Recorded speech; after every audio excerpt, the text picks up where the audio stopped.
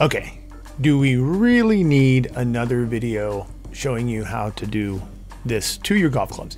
And I think the answer is yes, because this is real. I watched everybody else's. I am not artistically inclined, and I could not make it work the way the videos went. So I got a little despondent, but pushed on through, kept going, and now I'm going to show you part of it in real time how it works. So I just bought some lime green nail polish. I actually ended up um, buying it from Amazon because I was trying to match the uh, lime green that Vokey will put on if you do this on their website. Um, and I couldn't find it in public. You would think there'd be tons of lime green nail polish lying around, but apparently there's not, at least not in my town. Here's a little montage of me shopping for that. I'm too sexy for my love, too sexy for my love. Love's going to leave me.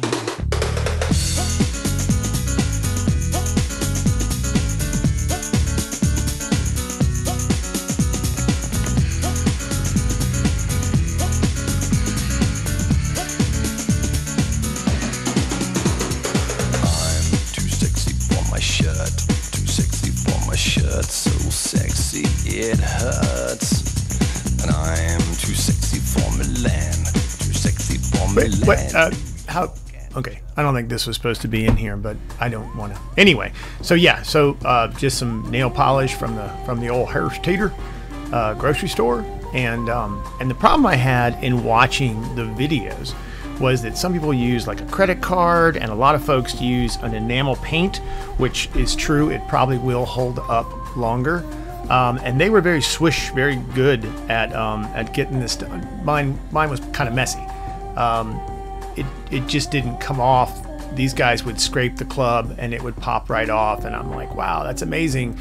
And then I'm trying it at home and thinking, oh no, I think I I've ruined my irons.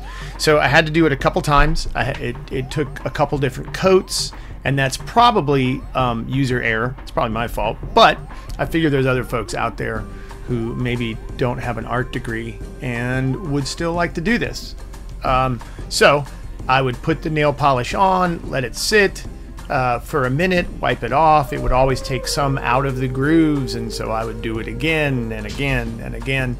Um, and I'll show you what it looks like, at, you know, absolutely in real time. But it really was just soaking the soaking the thing in, in some uh, nail polish remover and you can see like on the video people would slide that across and all that extra paint would come off and that absolutely did not happen um, at all even close for me. Uh, this is the part where i'm going oh crap did i screw this up? It's absolutely possible. Um, you know this isn't my job. And then I just started rubbing um, and not caring. But like, oh, I need this green off here so I don't look like any more of an idiot than I already do um, with a a painted nail and um, some crappy clubs, or at least crappy paint job on great clubs. So anyway, but you can see it starts coming off, and it it just wasn't as bright as everybody else did. Like I said, some people take like a business card or a credit card and slide it across. Um, I felt like letting it dry helped a lot. Um, and then eventually some kind of hard rubbing, but it all came off. And I've this is like uh, uh, maybe two months ago, maybe a month and a half, and I've been using them. They still look great. Um, the final video or little end of this video will show you what it looks like, um, and that's after some play. You know, and I use these wedges a lot around the green and you know short approach shots. So they're getting plenty of play and getting plenty of dirt in there. So again, I'm going to show you here in just a second, like literally real time, how it takes. I mean, this is going to be awesome. Um, I mean, really, hold, hang on to your seats. You know, it's definitely a you paid for the whole seat. You'll only need the edge, uh, kind of thing. With four minutes of basically maybe here I had to I got a little bit in the groove of where I didn't want it. I could have covered it up, made it all green. It would have looked great, but I decided to try to maybe scrape a little bit out. I wanted a little more precise, and uh, you know, it's just me. All right, so here here we go. This is literally as I'm doing it. So you can see I've already done a coat on there. I'm just trying to dop it down in there, get it in the lines as much as I can. I don't know if that's right. I don't know if that's wrong. Like, again, here we are on a YouTube channel watching paint dry. I'm literally just sitting here waiting. So I would wait for a little bit. I think the first time I tried it, I let it sit for longer and it really didn't seem to make much of a difference. Like doing separate coats seemed to work out better for me. And like most things I do, this isn't necessarily the best way. This is just my way. Um, so again, swim at your own risk here. I'm not saying that everyone should jump out and do this, but this is how it worked for me. So still sitting there, a little bit of sun on it, backyard, nice day.